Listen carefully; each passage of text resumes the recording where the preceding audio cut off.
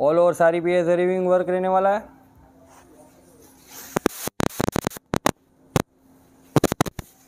ये skirt part है। साथ में पॉइंट अस्सी मीटर का ब्लाउज पीस रहने वाला है।